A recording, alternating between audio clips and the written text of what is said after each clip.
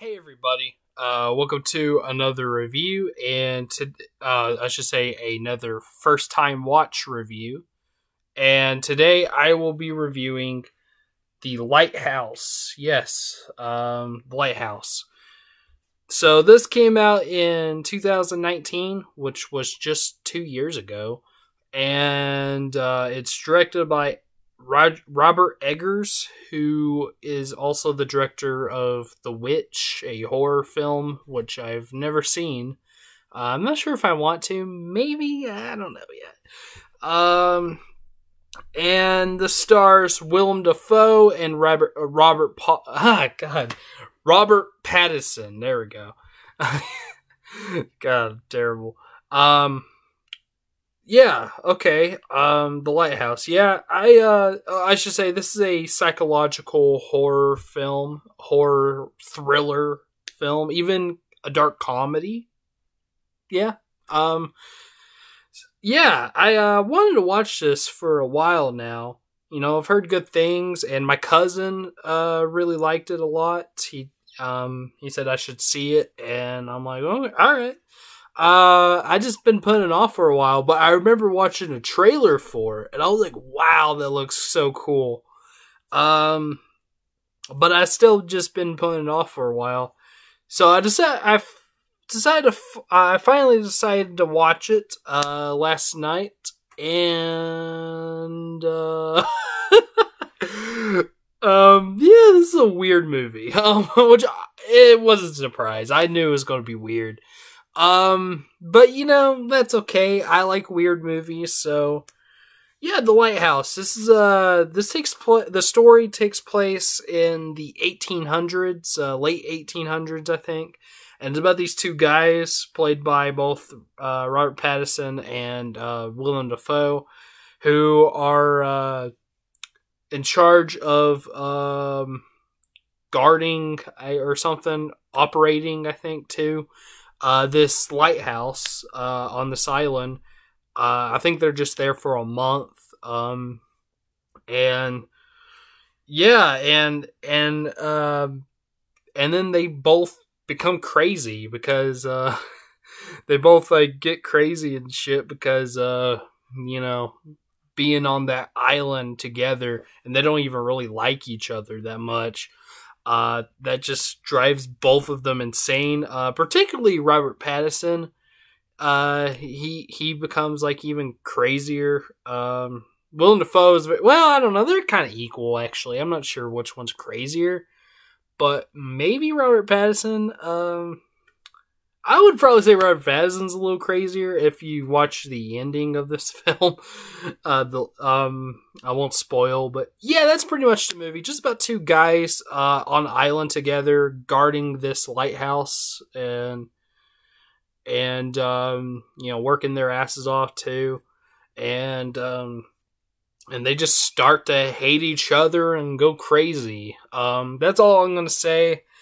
Um, but yeah, it's pretty cool, pretty weird, and also pretty funny. I have to be honest. This movie was making me laugh like quite a bit. Of I don't know why, but it it was. I was laughing, uh, like throughout the film. But yeah, this is kind of a funny movie. I don't know if.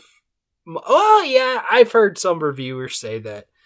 You know, it's kind of like a a dark comedy. It's supposed to be kind of funny. Um, but yeah, there's some humor in it, and it's pretty funny. There's even some fart jokes in the movie, and they're actually kind of funny. Um, but uh, yeah, I, I I did. I liked this movie. I thought it was really good, really cool, and weird, and uh, funny, and both performances by Robert Pattinson and Willem Dafoe were great. I um of course I know Willem Dafoe's a good actor. I like him and some stuff. I like him in uh that that David Lynch film uh Wild at Heart. And um but I didn't really know I didn't really know how good Robert Pattinson was because all I knew him from well the Twilight movies of course and um he was also in Harry Potter and the Goblet of Fire, played Cedric Diggory, um, which he was all right in that movie. He wasn't too bad. Uh, but that's all I knew him from. Uh, but apparently he's starting to get up there to being like a good actor. He's even going to play Batman soon. So, um, but yeah, this was definitely his best performance. He is really good in this movie. Like he really surprised me of how good he was in this film. Um, and of course, Willem Dafoe was great as always. Um, yeah, yeah, I uh, really, I, I did. I liked this movie quite a bit, and I also really liked. Um, I I love the cinematography of this film. This is a black and white movie, but the black and white's really cool looking. Um, it reminds me a little bit like my favorite film of all time, Eraserhead. Uh, well, not just the black white cinematography, but even like kind of like stuff that happens. Like this movie has some weird shit in it, and in some ways, kind of reminds me of Eraserhead. Um, which you know, if I if I love Eraserhead, then I should like this movie too, and I and I did, you know. Um, so and also I should mention this uh, movie. I've it is weird, but um, I don't think it's like the weirdest movie I've ever seen because since Eraserhead is my favorite movie, and most people say that's the weirdest movie ever made, which I don't agree on that. It's weird too, yeah, sure. But I love it, you know, and a lot of people don't even want to watch Eraserhead after they see it for the first time. I can watch it anytime. Um, I haven't watched it in a while, but uh, I but it's my favorite movie of all time. I could watch it at any time. Um, this movie doesn't really have uh, like a as much of a rewatch uh, ability or whatever. Uh, but Eraserhead does, at least for me. But I, I could probably see myself getting this movie in the future and watching it every now and again. Uh, maybe, maybe at least twice a year. I don't know. Um, but yeah. Um, but yeah, like I said, black and white cinematography is great. The acting is great.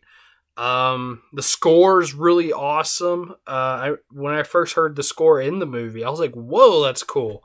Um, yeah, this is just a really cool and weird and funny movie. Um, and I uh, I was kind of afraid that I wouldn't like it. I kind of thought maybe I would be bored by it.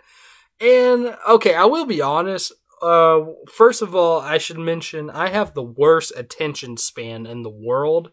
I easily get bored by f- movies, and it sucks because you know I love movies, but I could easily be bored by them. Um, and there were moments in this film that did kind of bore me, but mostly it was scenes with it was like scenes with dialogue. And I should also mention the dialogue. Uh, I could I couldn't really understand it because uh, it was like in old English and stuff. And was, they were kind of hard to understand, especially uh, Willem Dafoe. He was like really kind of hard to understand. So I had to watch it with subtitles, you know. Um, but uh, so yeah, the dialogue kind of dragged down a little bit for me. But other than that, I that's like my only issue with the movie is I'm not into the dialogue. Not at least not all of it. Um, other than that, though, I loved it. I thought it was. Or I liked it at, at, least. I liked it quite a bit. Um, it was just cool and weird and funny, like I said before. Um, yeah, I um, I really enjoyed the Lighthouse. This is gonna be a short review because I don't really know what else to say.